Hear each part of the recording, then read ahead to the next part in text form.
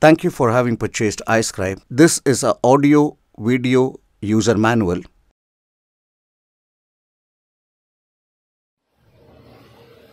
When you want to annotate on any P PPT files, please ensure you go and click connect after connecting the device.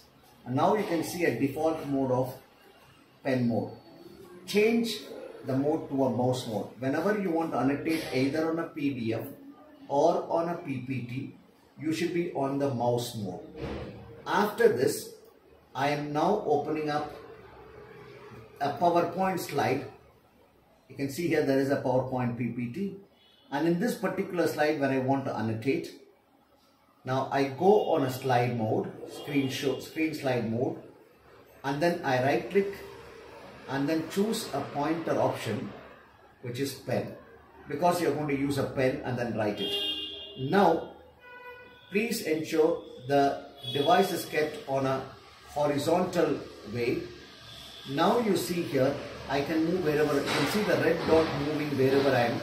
So now I'm going near the chlorophyll. When I'm rotate, when I'm moving, it is my paper, my pen is not touching the paper. I can hover over it and then whenever I want to annotate I just put the pen down and then say I just want to round off over here. And then I have to say this is chlorophyll.